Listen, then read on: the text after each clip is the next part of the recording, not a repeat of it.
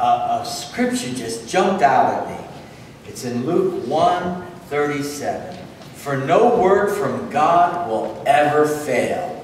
And as you pass the peace this morning, you can say, May the peace of the Lord be with you. You want to say to your neighbor, No word from God will ever fail. Say that back to me. No word from God will ever fail. May the peace of the Lord be with you.